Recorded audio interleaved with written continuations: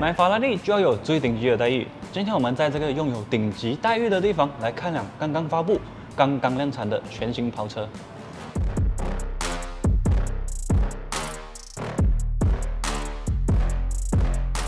这一辆全新的跑车是在二零二一年六月发布、二零二二年量产的二九六 GTV。二九六的意思代表着法拉利全新开发的二九九二 CC V 六双涡轮增压引擎。GTB 是 Gran Turismo Prenda。Prenda 在意大利语的意思就是跑车。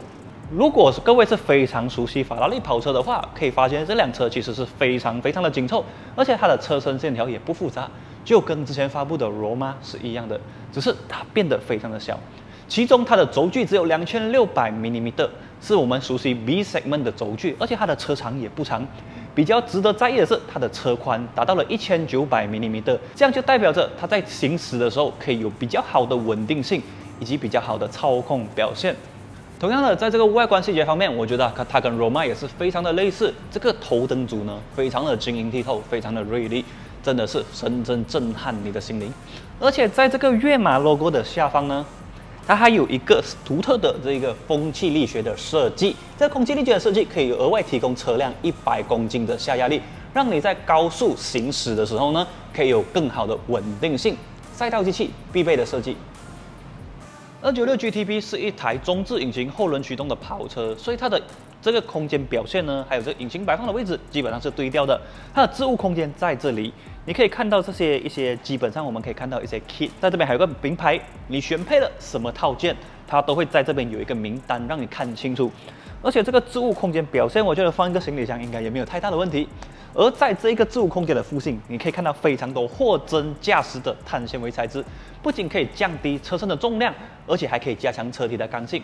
根据资料呢，这款车的车重只有一千四百多公斤而已，你说轻不轻呢？作为顶级的豪华跑车，法拉利将轻量化进行到底，就连这一个盖子，它都是铝合金的材质，非常非常的轻。OK。二九六 GTB 是一辆符合现在时尚趋势的跑车，它不仅有着 downsizing，而且还有这个 PHEV 插电式混合动力系统，充电口主要在这边。在充满电的情况下，它的纯电续航里程为二十五公里，而且因为特别的调教、特别的设定，如果说你在下赛道的时候，这个动能回收系统呢，会非常快速的为这个电池组进行充电。所以不需要担心电池用完之后，引擎的动力就会出现下降。而在这边，它采用的是二十寸的轻量化锻造轮圈，而且它和米其林深度定制了这个 Pilot Sport 4S。这个轮胎呢，并不是在哪里都买得到的哦。重点是因为它是后轮驱动的车型，所以采用的是前后配的设定，前面跟后面的这个轮胎尺寸是不一样的。作为一辆中后置引擎的车款呢，散热跟进气效率是非常重要的。原厂在左右两侧呢各设置了一个进气口，它可以帮助引擎进行散热，而且优化它的进气效率。而在这边你可以看到非常多的散热口，让这个风呢可以从前面进入，后面排出，加快引擎的散热效率。而且在这边下方你也可以看到非常多碳纤维的设计，它不仅可以增加这个车的运动表现，也可以增加车体的刚性。这个引擎盖呢，设定非常的奇特，可以看到它是一个玻璃的面罩，打开了之后，这一个就是全新的3.0公升 V6 双涡轮增压引擎，它的涡轮呢来自日本的 IHI，这个 IHI 的涡轮有什么特性？轻量化、低惯性。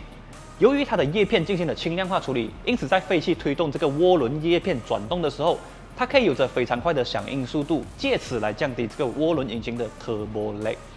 如果单单看这个引擎的输出表现呢，其实已经超过了六百 HP，在搭配了插电式混合动力系统之后，它的最大马力表现突破了八百 HP 的大关，而且匹配的是拥有 F1 赛车技术的八式双离合器变速箱，在这个极致的换挡效率加上极致的引擎表现之后，它的零到一百加速表现只需要二点九秒，而它的这个零到两百时速的加速表现只需要七点三秒，七点三秒，你的车子可以完成零到一百加速了吗？人家去了两百。法拉利不是一款车，它是一个艺术品，一个绝佳的艺术品。所以你可以看到它的内装表现跟以前的法拉利有着很大的区别。它主要给你的是时尚极致的感受，而且科技感非常的浓厚。例如说这个数位化仪表，它的显示资讯非常非常的清晰。不管是赛道资讯、车辆资讯，还是时速等等等等，你都可以在这边看得非常的清楚。而且它是一个非常高清的荧幕。另外，在驾驶座这边呢，也有一个触屏的界面，你可以通过这触屏界面为这个车辆进行一些控制。而这个方向盘，我个人非常的喜欢，它是一个货真价实的 carbon fiber steering，上面拥有非常非常多的按键，而且还有这个暗光的设计，看起来真的是帅帅到分手。而且还有一点就是它的这个左右方向灯是在这边的。另外呢，原厂也为车辆配备了 JBL 的顶级音响。你在开车的时候，你想要听这个引擎的悦耳声浪可以；你要听绝佳的音响也可以。另外一点就是，在这个门板这里还有非常非常多的一些按键，例如说开门的按键、打开引擎盖的按键、打开天油口的按键，以及打开这个插电式充电口的按键。二九六 GTB 的这个换挡方式跟这个 SS 九四还有这个 Roma 是一样的，采用这个推杆式的设计，非常非常的精致，真的是艺术品、精品还有时尚品。另外，它的冷气控制是在这一个范围，是一个触控的面板，而在这边就是我刚才所说到的这个触控屏幕，你可以控制车辆的一些资讯，然后冷气呀等等等等设定也可以在这边做设定。我觉得这一个真的是已经突破了很多人的认知。跑车不只是跑车，它也可以是科技产品。当然，在上面这个触感绝佳的皮革上面也写着二九六 GTB 这十六个字样。这个座椅的设定也非常的符合人体的工学，不管你是一般的驾驶或者是下赛道的话，它都可以给你绝佳的乘坐感受。这一款全新的二九六 GTB 在马来西亚售价超过一百二十万令吉，而且是不包含税务的状况。我相信很多朋友会问，为什么我们不直接公布一个包含税务的价格？可是实际上呢，这款车你购买的话，除了税务之外，你还要选配一些套件。如果加上这些套件的话，我相信每一每一辆车的价钱其实都是因人而异的。所以呢，你对这款车有兴趣的话，直接来这个法拉利的展示厅询问详情看看。不过一般上预测呢，这款车包含了选配套件加上税务之后。它的售价大概是三百万令吉到四百万令吉左右，你觉得这款车怎么样呢？欢迎留言留下你的看法。好啦，我是艾文，以上就是我们这一期影片的内容，记得帮我们按赞、订阅、分享，我们下一次节目再见，拜拜。